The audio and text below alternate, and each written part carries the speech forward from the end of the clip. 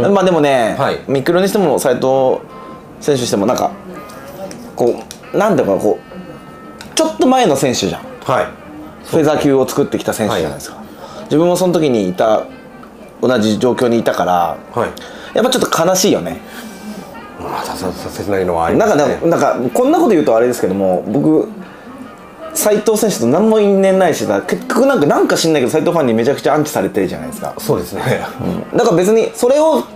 言われて、はい。まあ俺にも言い分があるわけじゃないですか,、はい。なんか負けた母みたいに言われたからじゃあお前やってみろって言ったらめちゃくちゃ炎上したじゃないですか、はい。だから好き嫌いでそういうことはやらないから、まあ、別に、まあ、別に僕の反知してくれるのは全然いいんだけども、はい。なんかそこのお互い選手はお互いを絶対みんな認め合ってるからこのリングにいるし別に斉藤選手のことは別に嫌いでもないし好きでもないけどね。だからもう一回這い上がってほしいなってっていうのはあるかな、うん。お前ミクロに関してもそうだけども、はい。お前らここで終わっちゃうのみたいなところは正直あるですよね、うん、だからもう一回こう時代をフェザー級のね最初を作ってきた2人だからこそ、はい。なんかこう新時代に飲み込まれないでおかしいと思うし、うん、特に K1 勢はね今ね本当にライジン飲み込もうとしてますからね、はい。次のパッキョとねアンアンポもそうだしさ、はい。次で